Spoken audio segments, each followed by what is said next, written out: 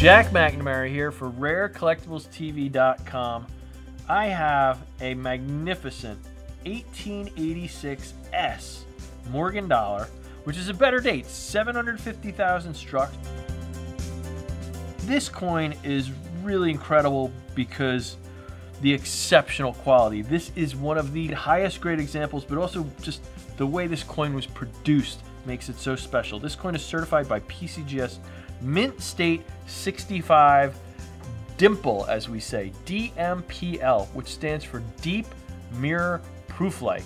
This is a coin that was struck for commerce, but it was struck from new, fresh, recently polished dies, which makes the coin look like a proof. And sometimes you see coins given a PL, proof-like designation, which is rare enough. But to get that DMPL, Deep Mirror Proof-like designation, is really, really, really unusual.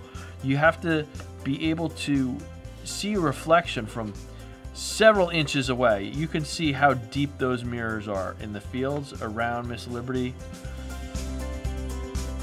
The mirrors are so strong and those devices are so frosted. It looks like a cameo proof coin, but this coin was struck for circulation, and that's what makes this so incredibly rare. Now, in this grade, MS65 Deep Mirror Proof Like, PCGS has only graded three coins at this level, none finer. Um, NGC's only graded one at this level, none finer. There are no coins graded higher than this. In any grade of Deep Mirror Proof Like, there's only 67 coins graded by PCGS. And like I said, not a single coin graded higher than this. This coin is so rare that a PCGS example has never shown up for sale in public auction. These coins just never show up on the market. They are in such high demand. Once they go into a coin collection, they stay there virtually forever. The only MS65 Deep Mirror Proof Like coin ever to show up for sale publicly was over 15 years ago. That was the NGC example. So just to give you an idea how rare this coin is, this is just an incredible rarity. And like I said, you know, you hear us talk about coins that should not exist. This is a coin that should not have even been produced.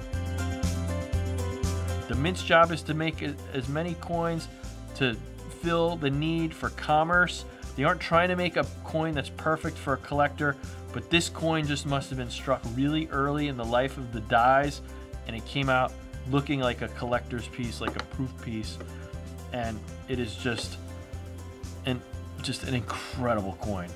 This coin recently sold on our website, rarecollectiblestv.com. It's about to ship out to a happy client today but I just want to share it with you because this is just a wonder coin. This is an incredible coin, and I just want to show you the type of coins we get here. Go to our website, rarecollectiblestv.com, or call our private advisory coin team, and they will seek out those spectacular coins like this for your collection.